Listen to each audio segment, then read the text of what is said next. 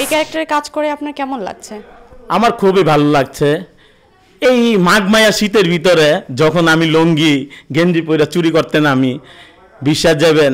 কাঁপতে কাঁপতে কাঁপতে কাঁপতে যখন নাকি সিংকাইটটা ঘরের ভিতরে ঢুকি, একটা বাচ্চা ছেলে বাচ্চা ছেলে যখন কাঁপতাছে, বাচ্চা ছেলে তখন চিন্তা করলাম যে আমি না হইলে কাঁপতাছি বাচ্চা ছেলেটা তো কাঁপতাছে।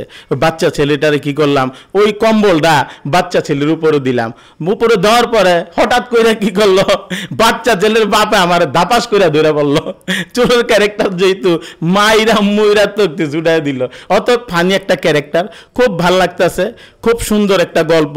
এই চরিত্রটা যখন আমাকে সিলেকশন করল বশির আহমেদ, তো আমার তো খুব ভালো লাগল যে আমাকে গল্পটা যখন শুনাইছে, তখন আমি হাসতে হাসতে মরি। তখন চোরের ক্যারেক্টার আমি কখনো করি নাই। তো বশির ভাই খুব ভালো লেগছে ভালো লেগছে বলতে কি খুব চমৎকার একটা গল্প।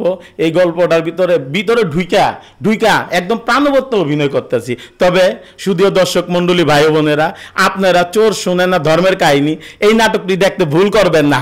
ভুল করলেই আপনার লস হইব।